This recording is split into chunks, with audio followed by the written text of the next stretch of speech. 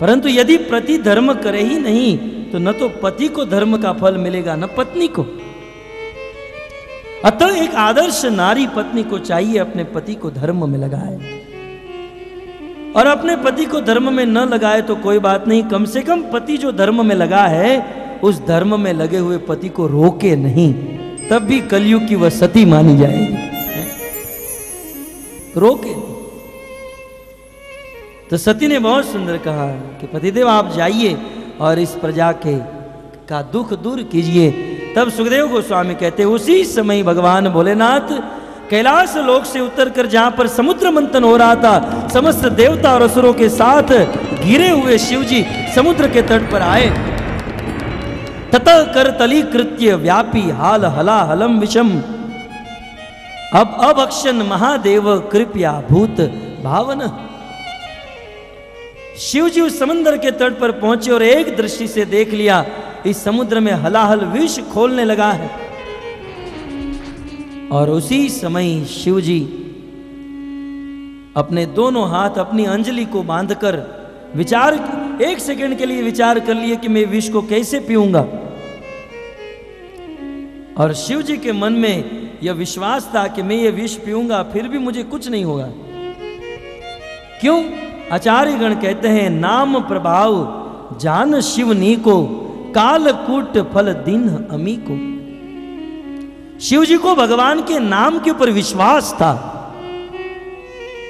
कि मैं यदि ये हलाहल विष पी भी लूँगा, फिर भी ये विष मेरा कुछ नहीं बिगाड़ पाएगा। क्यों? क्योंकि मैं राम और कृष्ण का नाम निरंतर जपते रहता हूँ और वह मेरी अवश्य रक्षा करेंगे मेरी अवश्य रक्षा करेंगे नंदी पुराण में वेद व्यास जी लिखते हैं कि शिव जी ने विष पिया, फिर भी विष शिव जी का क्यों कुछ नहीं बिगाड़ पाया? तो नंदी पुराण में लिखा है जाना थी राम नामस्तु प्रत्यम गिरिजापति। ततो अंधन विज्ञानाति सत्यम सत्यम वचो मम। मैं सत्य कहता हूँ, सत्य कहता हूँ, वे विष शिव जी का कुछ नहीं बिगाड़ पाया। क्यों? क्योंकि शिव जी जानाती राम नामस्तु। शिव जी भगवान राम के नाम की महिमा को जानते थे। तो भक्तों, उस समय शिव जी ने भगवान के ऊपर पूर्ण विश्वास था और दोनों अंजलि हाथ में बाँध ली और एक सेकंड के लिए भगवान राम और कृष्ण का ध्यान कर लिया और उसी समय शिव जी ने अपना ऐसे हाथ बांधा, समंदर का सारा भी शिव जी की अंजलि में आ गया। और उसी समय रा बोलकर शिव जी ने अपना मुख खोला और वे विष शिव जी ने अपने गले में अटवाया और माँ बोलकर शिव जी ने अपना मुख बंद कर लिया। राम नाम के प्रभाव से वह विष शिव जी के अंदर गया, परंतु शिव जी का कुछ नहीं बिगाड़ पाया।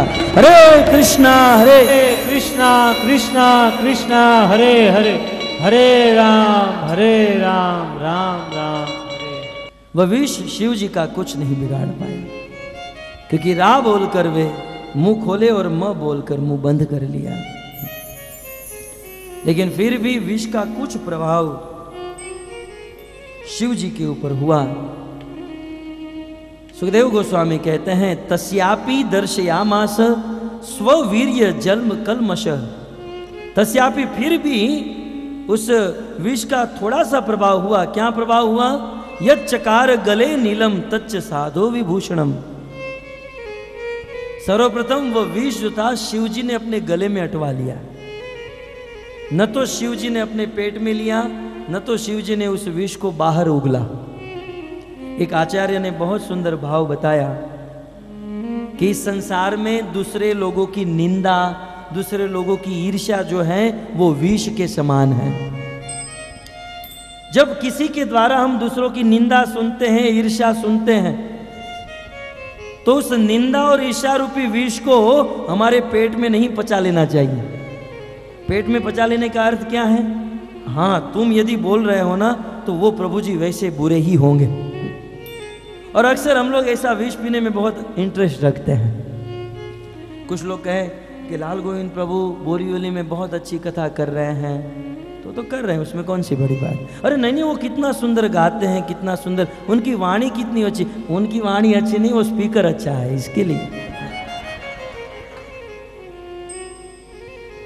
कुछ लोग कहते हैं, कितना सुंदर समुद्र मंथन चल रहा है तो चल रहा है। इतना इंटरेस्ट नहीं लेते हैं, लेकिन यदि कहेंगे, तुम जानते हो? लाल गोविंद प्रभु पानी पूरी की लारी के ऊपर खड़े खड़े पानी पूरी का अच्छा? तुरंत कान दुगुना हो जाएगा अच्छा? और क्या कर रहे थे, और बताओ? दूसरों की बुराई सुनने में कान दो, तीन, पचास गुना हो जाता। है और दूसरों की अच्छाई सुनने में? तो दूसरों की बुराई, दूसरों की निंदा और ईर्षा विष के समान है। शिव जी ने जगत जनता को एक बहुत सुंदर आचरण सिखाया। दूसरों की निंदा ईर्षा करनी नहीं चाहिए और भूल से भी यदि किसी ने दूसरों की निंदा और ईर्षा कर ली तो उस बात को पचाना नहीं चाहिए, पेट में नहीं डालना चाहिए। पेट में डालने का अर्थ है, उसको स्वीकार नहीं कर लेना चाहिए। इतने बड़े महान चरित्र को किसी थर्ड क्लास के व्यक्ति के द्वारा बोलने पर तुरंत मान नहीं लेना चाहिए कि वह व्यक्ति इतना बुरा होगा ही। संसार के लोग तुरंत उसे स्वीकार कर लेते हैं। तो शिव जी ने उस विष को पेट में नहीं लिया और उगला भी नहीं। कुछ लोग इस निंदा और ईर्ष्या के विष को सुनते हैं और फिर उगलते रहते हैं दूसरों के सामने। जानते हो फलाना ऐसा है, फलानी ऐसी है, ऐसा है, वैसा है। तो निंदा ईर्ष्या रूपी विष को उगलना भी नहीं चाहिए और निगलना भी नहीं चाहिए, उसको कंठ में दबा कर रख लेना चाहिए। शिव जी ने यह आदर्श स्थापित किया। और जब शिव जी ने इस विष को अपने गले में धारण किया, सुखदेव गोस्वामी कहते हैं ये यचकार गले नीलम। शिव जी का जो गला था, विष के प्रभाव से नील वर्ण का हो गया। परंतु नील वर्ण का गला हुआ तो शिव जी का जो आभूषण था शिव जी का जो शिव जी की जो सुंदरता थी, वो और भी बढ़ गई। सुखदेव गोस्वामी कहते हैं कि वो विष जो था शिव जी का एक आभूषण, एक अलंकार बन गया। और उस दिन से शिव जी का एक नाम हो गया, नीलकंठ महादेव। नीलकंठ महादेव की जय। यशोजना परमाराधनं नं तद्वी। पुरुषस्याखिलात्मना। जब शिव जी ने जनता के दुख को दूर करने के लिए यह कृत्य किया, सुखदेव गोस्वामी प्रसन्न हो गए और एक सिद्धांत दे दिया। कि इस प्रकार तप्यंत लोक तापे न साधव प्राय शोजना। इस जगत के साधु प्रायः दूसरों के दुख को दूर करने के लिए तप्यंते खुद तपते रहते हैं, खुद जलते रहते हैं। और खुद जलकर भी दूसरों के दुख को दूर करना। यह कार्य जो है, परम आराधनम तद्वी भगवान कृष्ण की परम आराधना है। परम भक्ति है। अतः संसार में किसी भी व्यक्ति को चाहिए शिव जी की तरह भगवत भक्ति का प्रचार करते हुए लोगों के दुखों को दूर करें। शिव जी ने जब विष पिया और लोगों के दुख को दूर किया, निशम्य कर्म तत्शंभो, देव देवेश मीढ़ुष प्रजा दाक्षायणी ब्रह्मा, वैकुंठ संशिरे। बोले, शिव जी ने विष पिया और जगत के दुख को दूर किया, यह सुनकर ब्रह्मा इत्यादि दक्ष प्रजापति सब लोग आकाश के मार्ग में आए और शिव जी के ऊपर फूलों की वृष्टि की। और इस प्रकार प्रस्कन्नम पिबत प्राणे, यत किंची जूस्म तत्। वृश्चि का ही विशोद्यो दंड सुकाश ये परे। अंत में सुखदेव गोस्वामी कहते हैं, विष पीते समय शिव जी की अंजलि से विष की कुछ बूंदे गिर गई। और जो बूंदे गिर गई, संसार के किसी बिच्छू ने ग्रहण किया, सर्पों ने ग्रहण किया, और जिन पशुओं ने उनको ग्रहण किया, वे सब जहरीले हो गए। इस प्रकार कहते हुए वेद व्यास जी इस अध्याय को समाप्त करते हैं। समुद्र मंथन की कथा को आगे बढ़ाते हुए अब सुखदेव गोस्वामी कहते हैं, पिते गरे वृषांकिण प्रतास्ते अमरदानवा। शिव जी के विष पी लेने के बाद सारा विघ्न समाप्त हो गया। समस्त देवता और असुर निश्चिंत हो गए और फिर से जहाँ पर उद्यम प्रारंभ हुआ था, उस समंदर के बीचों बीच आए। मंदार पर्वत समंदर समंदर में खड़ा है। वासुकी नाग बैठे हैं और उस समय देवताओं ने पूछ का भाग पकड़ा, असुरों ने मुख का भाग पकड़ा और समुद्र मंथन प्रारंभ किया। लेकिन अब तो देवताओं ने सोच लिया कि इतने इतने विघ्न आए। और समंदर से कुछ निकल नहीं रहा है। कथा का आज आठवां दिन आ गया तो अब क्या करें? भगवान का नाम लेंगे तो तुरंत ये सब आभूषण निकलेंगे, ये सब रत्न निकलेंगे। इसलिए उस समय समस्त देवता भगवान का नाम गाते हुए समुद्र मंथन करने लगे। आइए हम लोग भी भगवान का नाम गाते हुए करें, ताकि आज इस समुद्र मंथन में, समुद्र से आठ रत्न उत्पन्न हो और आठवें रत्न के रूप में जगत जननी माता लक्ष्मी ही यहाँ पर प्रकट हो और लक्ष्मी नारायण का विवाह। हरे कृष्णा हरे कृष्णा कृष्णा कृष्णा, हरे हरे।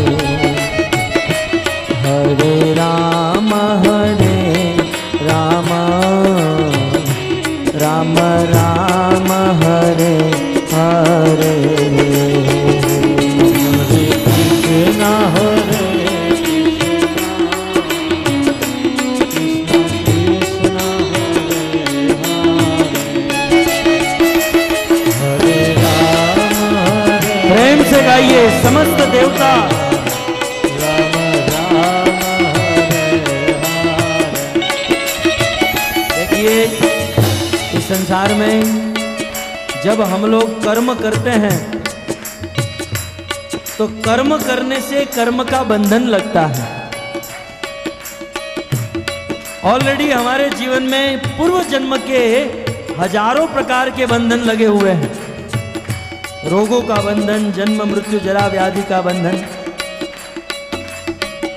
और यदि हम लोग फिर भी कर्म करते रहेंगे तो हमारे कर्म बंधन और बढ़ते जाएँगे।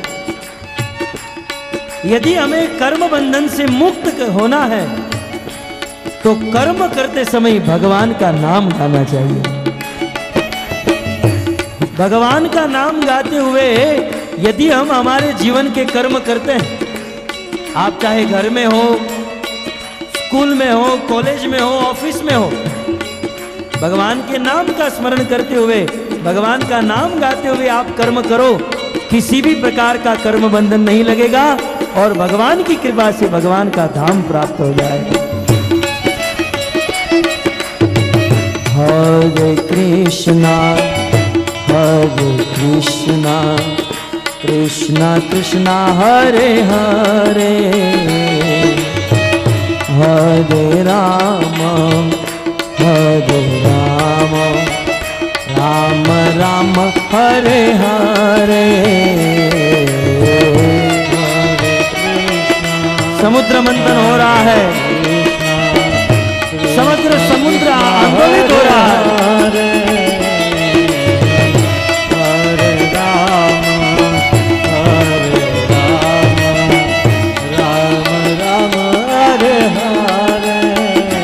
संसार में जो व्यक्ति भागवत के आश्रय में भागवत कथा सुनते समय यदि भगवान का नाम गाता है उस व्यक्ति के हृदय के करोड़ों करोड़ों जन्म के बाद पाप उनके हृदय से भाग जाते हैं।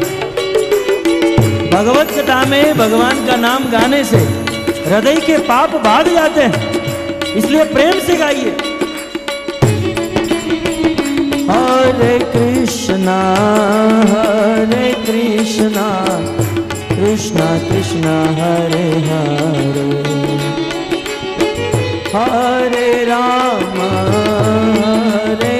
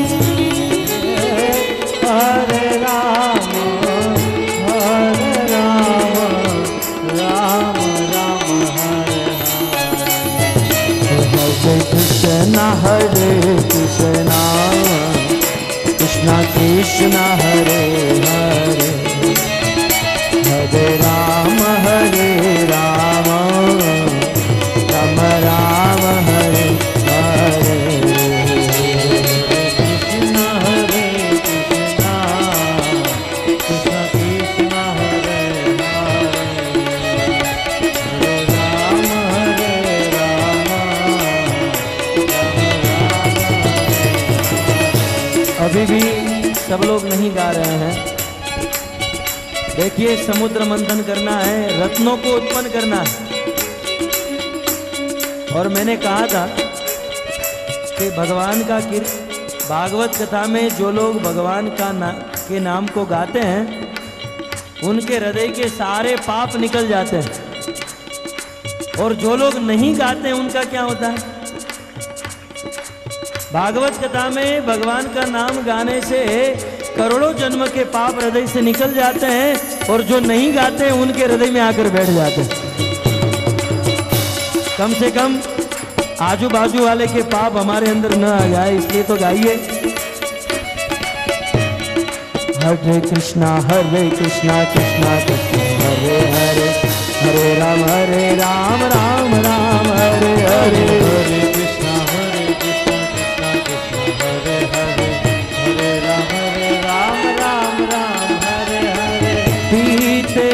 गरे वृषाङ्केण प्रीतास्ते मर्दानवा। ममन्तु तरसा सिन्धु। अवधानी ततो भवन्। भगवान का नाम लेते हुए जब देवताओं ने समुद्र मंथन किया तो इस समुद्र से एक दिव्य रत्न उत्पन्न हुआ और उस दिव्य रत्न का नाम था कामधेनु गाय। बोलिए, कामधेनु गाय की।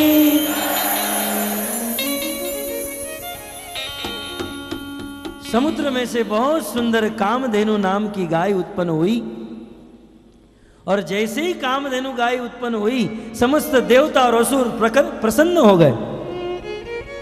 परंतु भक्तों, असुरों का एक स्वभाव था। असुर जो होते हैं, उसके हृदय में अनेकों प्रकार की कामना वासना होती है। जैसे ही कामधेनु गाय प्रकट हुई, ये असुर लोग उस वासु की नाक को छोड़कर, दौड़कर सब कामधेनु गाय के पास चले गए। किसी ने गला पकड़ा, किसी ने हाथ पकड़ा, किसी ने पाँव पकड़ा, बोले, ये हम रखेंगे हम रखेंगे। परंतु भगवान ने इंद्र को समझाया था। पहले दिन की याद याद कीजिए। भगवान विष्णु ने कहा था, असुर लोग बहुत मांगेंगे, छीना झपटी करेंगे, लेकिन आप लोग भूल में भी मन से कामना उत्पन्न मत करना। मैं वहाँ पर रहूँगा और सारा कार्य ठीक कराऊँगा। तो देवता लोग, इंद्र आदि सब वहाँ पर खड़े रहे। असुरों ने गाय को पकड़ लिया। भगवान विष्णु ऊपर मंदार पर्वत के ऊपर अंपायर के रूप में बैठे थे। बोले गाय को छोड़ो, गाय को छोड़ो, चलो दूर खड़े रह जाओ। अब सब लोग भगवान को आदर भी करते थे, क्योंकि इसी ने हमको जीवित किया, इसी ने मंदार पर्वत को उठाया, इसी ने हमको शक्ति दी, इसलिए थोड़ा तो इसमें प्रभाव था। भगवान ने कहा, गाय को छोड़ो। असुर ने कहा नहीं, ये गाय हम रखेंगे। भगवान ने कहा, तुम लोग गाय का क्या हरे कृष्णा कृष्णा कृष्णा हरे हरे। हरे राम हरे राम राम राम हरे हरे। हरे कृष्णा हरे कृष्णा कृष्णा कृष्णा हरे हरे। हरे राम हरे राम राम राम हरे बोलो हरे कृष्णा हरे कृष्णा कृष्णा कृष्णा हरे हरे। हरे राम हरे राम राम राम हरे। हरे हरे कृष्णा हरे कृष्णा कृष्णा कृष्णा हरे हरे। ततो भवत् पारिजात सुरलोक विभूषणम् पूरयतर्थिनो योऽर्थे। शश्वद्भूमि यथा भवान्। केवल मनुष्य की ही नहीं स्वर्ग में रहने वाले समस्त देवताओं की इच्छा पूर्ण करने वाला उस समुद्र मंथन से छठे रत्न के रूप में पारिजात नाम का वृक्ष उत्पन्न हो गया। जैसे ये पारिजात वृक्ष उत्पन्न हुआ, देव असुरों को क्रोध आया, बस! बंद करो ये मंथन! बोले, हम लोग आए हैं समुद्र में से अमृत निकालने के लिए। ये हाथी, घोड़ा, ये वृक्ष, बस यही निकलना था। क्या ये हाथी, घोड़ा और पेड़ के लिए हम लोग आए अब पारिजात वृक्ष निकला और निकल कर ऐसे ही खड़ा है, असुर लोग लेने नहीं गए। भगवान ने कहा, ले लो। बोले, हम तो इसको काटते हैं, हम सुखदेव गोस्वामी कहते हैं, इस संसार में जो लोग वृक्ष को काटते हैं, वो असुरों के जैसे हैं। लेकिन ये लोग के अंदर बहुत टेम्पर हाई हो गया। बोले, हैं? ये हाथी घोड़े के लिए यहाँ पर आए थे, ये तो हमारे घर पर भी था। भगवान ने अंपायर के रूप में बैठे थे, कहा असुरो आप ले लो। बोले, हमको नहीं चाहिए। तब भगवान ने इंद्र को इशारा किया, ये असुर लोग इस वृक्ष को इसलिए नहीं चाहे क्योंकि इसकी महिमा नहीं जानते थे। सुखदेव गोस्वामी कहते हैं, पूरयत अर्थी नो योर थे सभी अर्थ को पूर्ण करने वाला यह कल्प वृक्ष था। और उदाहरण देते हुए कहते हैं, शश्वत भूवि यथा भवान। ये परीक्षित, जिस प्रकार आप तक, आप जब तक राजा रहे और आपने जैसे अपने प्रजाओं की इच्छा को पूर्ण किया, उसी प्रकार ये वृक्ष जिनके पास रहता है, उनकी इच्छाओं को पूर्ण करता है। लेकिन ये मूर्ख असुर लोग क्या जाने वृक्ष का स्वभाव क्या है? छोड़ दिए वृक्ष को। और भगवान के कहने पर इंद्र ने वह वृक्ष अपने स्वर्ग में जाकर लगा दिया। देखिए, देवताओं का स्वभाव आगे चलकर एक कथा आती है कि सत्यभामा रुक्मणी के लिए भगवान इंद्र के पास ये वृक्ष लेने गए, लेकिन इंद्र ने नहीं दिया। जिस भगवान की कृपा से वृक्ष मिला, उस भगवान को ही इंद्र ने यह वृक्ष नहीं दिया था। खैर, ये तो एक अलग प्रसंग है, लेकिन वृक्ष उत्पन्न हुआ, प्रकट हुआ ये असुर देवता लोग अपने स्वर्ग में जाकर लगा दिए। और अब तो ये क्रोध में थे। कभी कभी कुछ लोग क्रोध में आकर ज़्यादा काम कर लेते हैं। तो क्रोध में आकर ये सारी मेहनत और शक्ति से समुद्र मंथन को फिर से प्रारंभ किया हरे कृष्णा हरे कृष्णा कृष्णा कृष्णा, हरे हरे हरे राम हरे राम राम राम, हरे हरे। हरे कृष्णा हरे कृष्णा।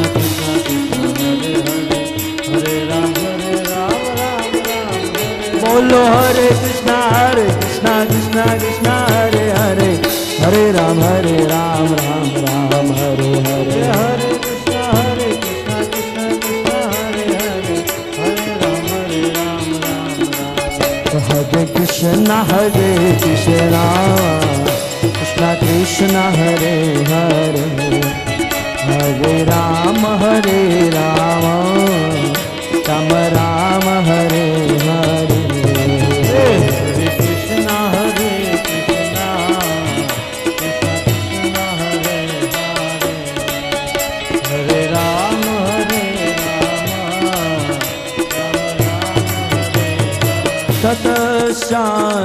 ततशायप्सरो जाता निष्ककण्ठ्य सुवासस। रमण्य स्वर्गिणां बलगो गति लीलावलोकने देवता और समुद्र और असुरों के समुद्र मंथन करने पर उस समुद्र में से सातवें रत्न के रूप में बहुत सुंदर सुंदर अप्सरा उत्पन्न हुई। और अप्सरा के विषय में कहते हैं बहुत सुंदर उनका शरीर था। उन, उन उनके शरीर के अंग अत्यंत कोमल थे। बहुत सुंदर उन्होंने वस्त्र धारण किया था अलंकार धारण किया था। और ऐसी अद्भुत अद्भुत चाल वाली अप्सरा वहाँ पर प्रकट हुई। और समस्त असुरगण अपने अपने वासुकी को छोड़कर अप्सरा के पास दौड़ कर चले गए। और सब लोग बांटने लगे, रंभा को तू रख ले, उर्वशी को मैं रख लेता हूँ। और सब लोग अपने अपने स्थान पर जाने लगे। भगवान ने कहा, छोड़ो, ए, कहाँ लेकर जा रहे हो? छोड़ो छोड़ो। बोले, देखो प्रभु, अब इसमें कोई दो नहीं है। ये ये पेड़ जो था, ये लोग ने रखा, ये अप्सरा अब हमारी है। आप कुछ मत बोलना। अब हम लोगों के बीच में मत आना। हम लोग ये अप्सरा को हमारे घर पर छोड़ कर आते हैं। फिर आराम से उनको लपेट लेंगे, पहले समुद्र मंथन असुरों को अप्सरा बहुत पसंद आ गई। कारण सुवास असर। बहुत सुंदर वस्त्र धारण किया था। सुंदर वस्त्र माने आज का जीन्स और टी शर्ट नहीं। स्वर्ग की देविया साड़ी पहनती हैं। स्त्रियों का आभूषण मर्यादा है। मर्यादा से युक्त स्त्री जितनी सुंदर लगती हैं उतना मर्यादा को तोड़ने वाली स्त्री अच्छी नहीं लगती। खैर, ये तो सिद्धांत अनेकों है, लेकिन ये सब अप्सरा को पकड़ लिए, अब छोड़ने का नाम ही नहीं ले रहे थे। असुर असुर लोक में कभी ऐसी अप्सराएँ देखी नहीं हुई? भगवान ने कहा, छोड़ो। बोले, नहीं छोड़ेंगे। बोले, छोड़कर दो मिनट खड़े तो रहो, कम से कम सीधा खड़ा रहना तो सीखो। एक सेकंड एक स्थान पर बैठ नहीं सकते असुर। ये आसुरी वृत्ति है। जिसके अंदर आसुरी गुण होते हैं, तमोगुण होते हैं, वो ठीक से बैठ नहीं सकते हैं। धन्य है आप लोगों का सत्वगुण। दो दो तीन तीन घंटे तक एक स्थान पर बैठे रहते हो। इतनी गर्मी में। लेकिन कुछ लोग होते हैं, जब से बैठे तब से हिलते रहते हैं कभी यहाँ। मोर अपनी जितनी कला बदलता है, वो सब कला बदल चुके हैं कुछ लोग। और फिर भी थक जाते हैं, खड़े होकर बाहर चले जाते हैं। ये आसुरी वृत्ति है, आसुरी प्रभाव है। एक बार एक व्यक्ति आया, एक प्रभु जी को कहा प्रभु जी प्रभु जी मुझे प्रवचन करना सिखाओ। बोले, तू तीन घंटा पहले एक स्थान पर बैठने का सीख ले प्रवचन तो तू बाद में सीखेगा, पहले तीन घंटा एक स्थान पर कैसे बैठा जाता है, वो सीखो। सीधा नहीं खड़े रहते थे। भगवान ने कहा, सीधे खड़े रहो अप्सरा को खड़ा रखा बोले, ये अप्सरा देवताओं की है। बोले, कैसे? देवताओं ने वृक्ष रखा अब अप्सरा हमारी है। भगवान ने कहा, ध्यान से सुनो। विष निकला शिव जी ने रखा, गाय निकली, ब्राह्मण ने रखा, घोड़ा निकला, आपने रखा, हाथी निकला, देवताओं ने रखा, कौस्तुभ मणि निकला तो मैंने रखा। अब चांस किसका था? पहले घोड़ा निकला तो असुरों ने रखा, हाथी निकला तो देवताओं ने रखा। अब चांस किसका था? असुरों का था ना? अब आपका चांस था तो आपके चांस में वृक्ष निकला, आपने पास कर दिया, आपका चांस नहीं चाह तो देवताओं के पास चला गया। इसलिए आपको चाहते तो वृक्ष मिल जाता, लेकिन आप नहीं चाहे, इसलिए फोकट में बेच दिया। अब ये अप्सरा जो है, देवताओं की है। आप अप्सरा देवताओं को दे दो। असुरों ने गुप्त गुप्तगु किया, बोले, दे दो ना, फिर युद्ध करके ले लेंगे, सबको हमारे वश में कर लेंगे। छोड़ो। ऐसी अप्सरा तो बहुत देखी है मिला नहीं तो अंगूर खट्टा ऐसे करके अप्सराओं को छोड़ दिया और सभी देवता और असुर फिर से लगे, बोले, अभी अभी मेहनत करके निकालो। और असुरों ने कहा, अब जो आएगा वो हमारा बन जाएगा। सात रत्न निकल चुके हैं। अब समुन्द्र से आज के दिन का आठवां रत्न निकलने जा रहा है। आइए बड़े प्रेम से श्रद्धा से भगवान के नाम का कीर्तन। हरे कृष्णा हरे कृष्णा कृष्णा कृष्णा। हरे राम हरे राम राम राम हरे हरे। हरे कृष्णा हरे कृष्णा कृष्णा कृष्णा हरे हरे। हरे राम हरे राम राम राम हरे हरे। बोलो हरे कृष्णा हरे कृष्णा कृष्णा कृष्णा हरे हरे। हरे राम हरे राम राम राम हरे हरे। हरे कृष्णा हरे कृष्णा कृष्णा कृष्णा हरे हरे। हरे राम बोलो हरे कृष्णा हरे कृष्णा कृष्णा कृष्णा हरे हरे हरे राम हरे राम राम राम हरे हरे हरे कृष्णा हरे कृष्णा कृष्णा कृष्णा प्रेम से गाइए। हरे राम हरे राम राम राम हरे हरे कृष्णा हरे कृष्णा कृष्णा कृष्णा हरे हरे हरे राम हरे राम राम राम हरे हरे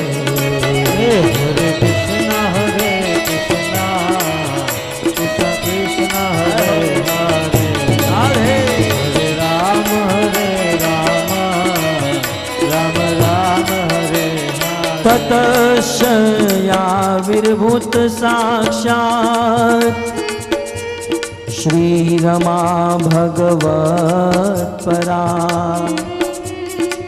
रञ्जयन्ति दिशः कान्त्या। विद्युत्सोदामणि यथा। उसी समय उस समुद्र से आठवें रत्न के रूप में समुद्र की पुत्री के रूप में समस्त दसों दिशाओं को जगमगाने वाली, अपने तेज से सूर्य चंद्र की किरणों को फीकी करने वाली, साक्षात भगवान की नित्य पार्षद श्री लक्ष्मी देवी उस समुद्र से प्रकट हो गई। जैसे ही लक्ष्मी देवी प्रकट हुई, सुखदेव गोस्वामी कहते हैं तस्याम चक्रुस्पृहाम सर्वे असुरासुरमानवा रूपोदार्यवयो वर्ण महिमा क्षिप्त चेतस जैसे ही देवी लक्ष्मी प्रकट हुई, देवी लक्ष्मी को देखकर वहाँ पर खड़े हुए समस्त लोग लक्ष्मी को प्राप्त करने की इच्छा करने लगे। केवल समुद्र मंथन में भाग लेने वाले ही नहीं, इस दुनिया में रहने वाले सब लोगों ने इच्छा किया कि लक्ष्मी हमारे पास आ जाए। भक्तों, यद्यपि सब लोगों ने अलग अलग भाव में इच्छा रखी, देवताओं ने लक्ष्मी को अपनी माँ समझकर प्राप्त करने की इच्छा की मनुष्य ने लक्ष्मी को धन समझकर प्राप्त करने की इच्छा की और असुरों ने लक्ष्मी को अपनी पत्नी बनाने की इच्छा की। सब लोगों ने लक्ष्मी को अपना अपना बनाना चाहा। लेकिन भक्तों उस समय लक्ष्मी ने किसको अपना बनाना चाहा? यह प्रश्न खड़ा हुआ। उसी समय देवी लक्ष्मी अपने हाथ में कमल का फूल लेकर बहुत सुंदर वरमाला लेकर उस समस्त देवता और असुरों के बीच में चल रही है।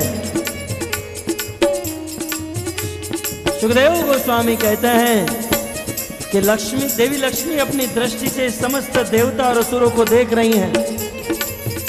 और देवता और असुरों के साथ इस जगत के समस्त जीवों को समस्त महान महान लोगों की ओर दृष्टि डाल रही हैं। और देवी लक्ष्मी देखती जा रही हैं, मेरे लिए, मेरे योग्य इस सभा में कौन अच्छा वर है?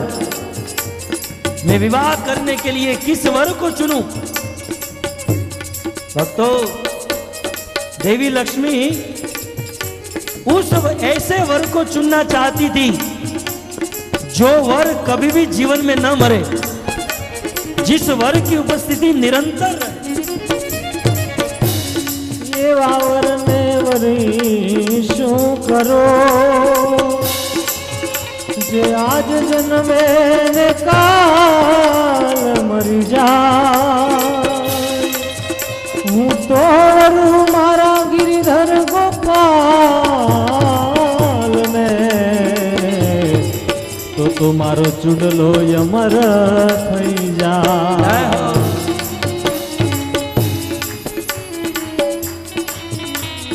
मैं ऐसे वर के साथ विवाह करके क्या करूँ? जो आज जन्म लेता है और कल मर जाता है मैं विवाह करूंगी तो ऐसे वर के साथ हैं जिससे मैं जन्म जन्मांतर के लिए अखंड सौभाग्यवती बन जाऊं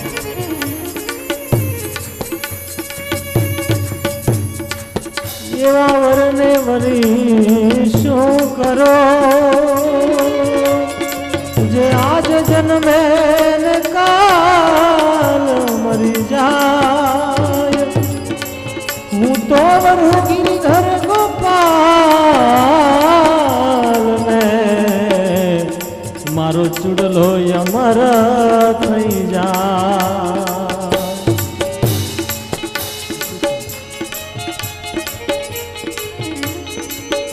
इस प्रकार देवी लक्ष्मी ढूंढ रही हैं, ऐसा कौन है जो मुझे पूर्ण रूप से सुखी रख सके, जो कभी न मरे? अनेकों लोगों को इंद्र को देखा बलि को देखा। एक से एक व्यक्ति को देखते हुए लक्ष्मी जी आगे बढ़ रही हैं। नूनम तपो यस्य न मन्यु निर्जयो। देवी लक्ष्मी ने देखा, इस सभा में कुछ लोग बड़े तपस्वी हैं, लेकिन क्रोध के ऊपर अपना वश नहीं है। कुछ लोगों के पास आयु है, लेकिन उनकी सुंदरता का कोई ठिकाना नहीं है।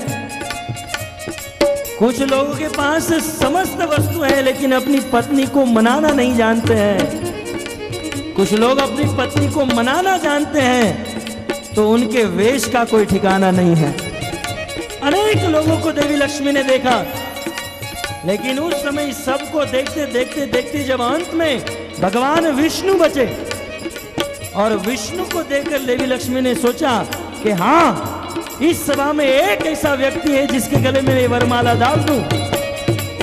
लेकिन क्या करूँ? जो व्यक्ति मुझे बहुत पसंद है, वो मेरे सामने तक नहीं देख रहा है। जो मुझे पसंद है, वो मेरे सामने नहीं देख रहा है। लेकिन फिर भी जगत पिता भगवान विष्णु को अपने अपने पति के रूप में चयन करते हुए जगत चंडी माता लक्ष्मी आगे बढ़ी। और अपने स्वयंवर माला को लेकर भगवान विष्णु के चरण में डाल दिया।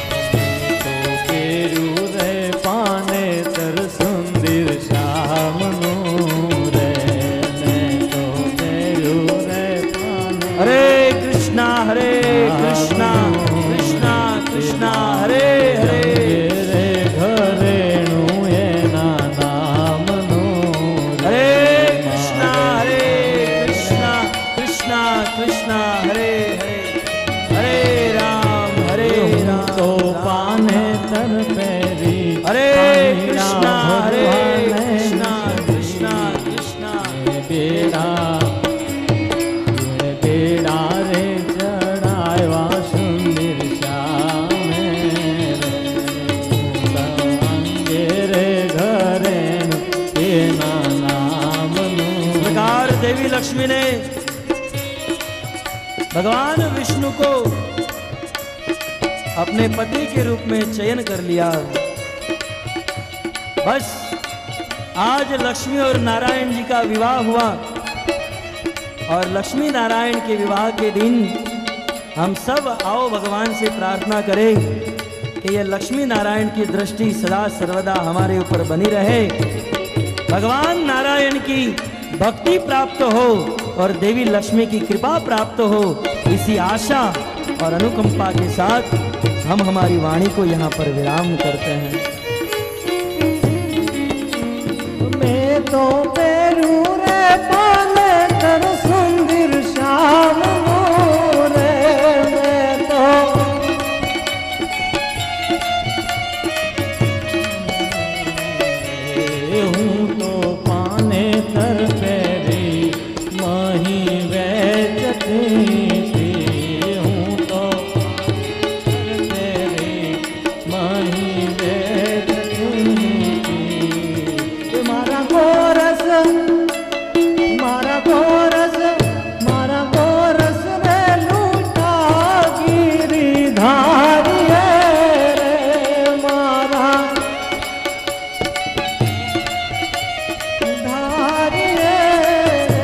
जिमें तो पेरू रे मोने दर सुंदर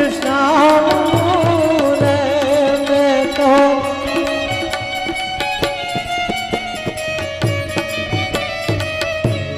हूँ तो आज लक्ष्मी नारायण जी का विवाह है। आइए हम सब इनको आशीर्वाद दें, इनकी जोड़ी सलामत बनी रहे। हरे कृष्णा हरे कृष्णा। ये तो हँसते भी हैं। ये तो हँसते भी हैं, आशीर्वाद भी देते हैं। और बुलाएँगे तो आपके घर पर भी आएँगे। लक्ष्मी पूजा के दिन।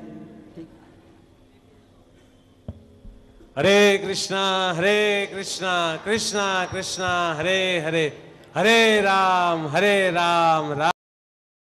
प्रारंभ में बताया था, हम सभी लक्ष्मी नारायण जी का दर्शन तो किए हैं और लक्ष्मी नारायण में आज उन्होंने हमारे ऊपर पूरी कृपा बरसाई है, लेकिन अभी कृपा का मूल भाग शेष है।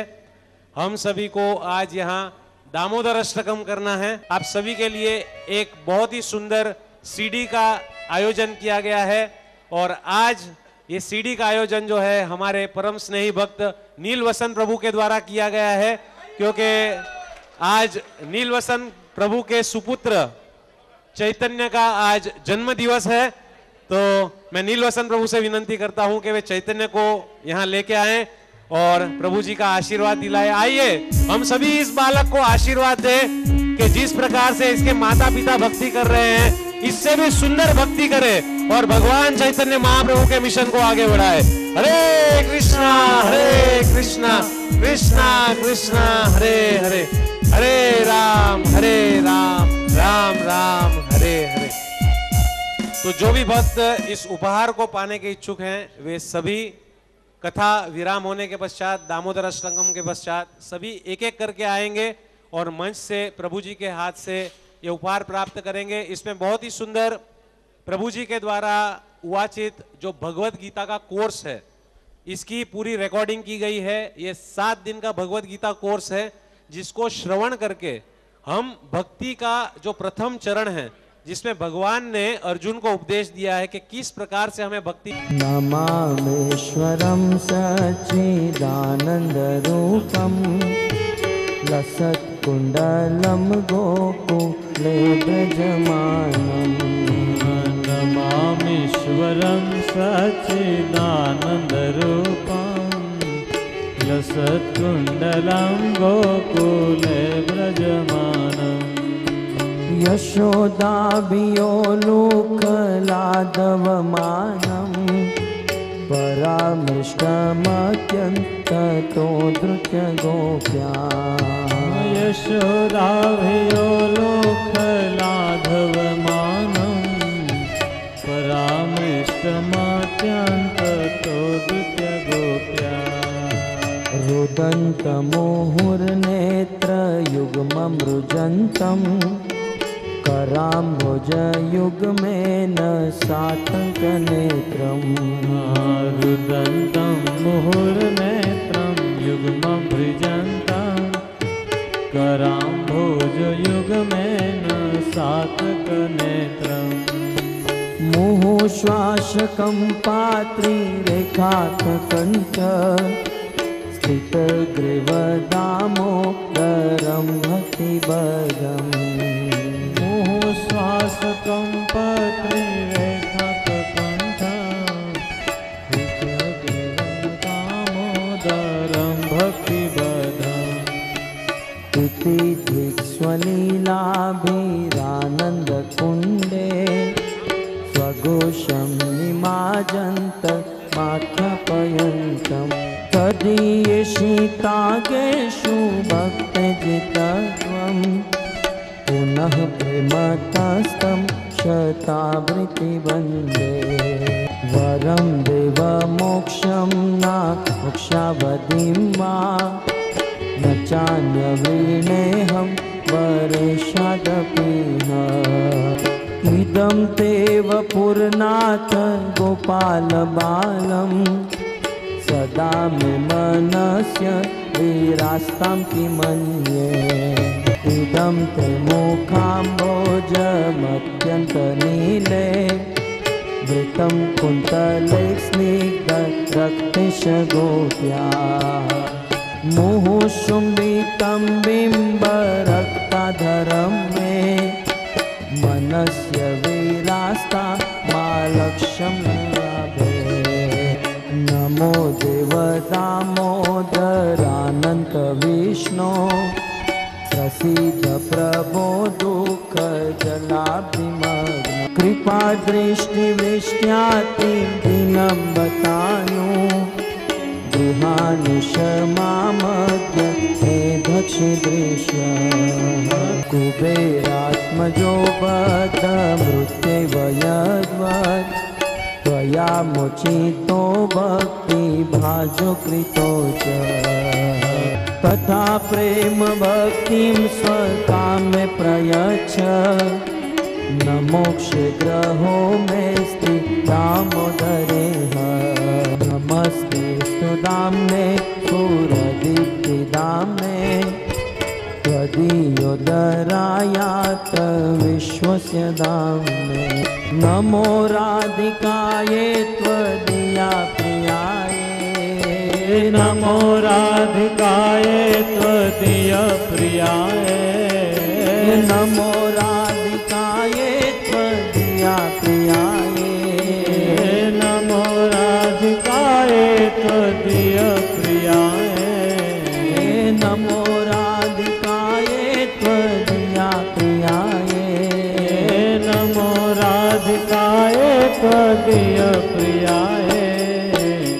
नमो राधिकाये त्वदीया प्रियाये नमो राधिकाय त्वदीय प्रियाय नमो राधिकाये त्वदीया प्रियाये नमो राधिकाय त्वदीय प्रियाय नमो राधिकाये त्वदीया प्रियाये नमो राधिकाय त्वदीय प्रियाय नमो राधिकाये त्वदीया प्रियाये नमो राधिकाय त्वदीय प्रियाय।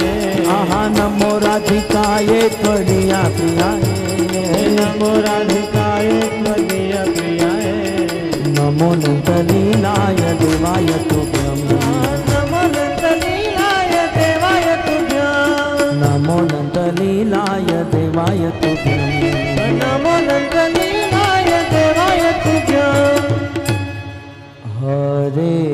कृष्णा। हरे कृष्णा कृष्णा कृष्णा। हरे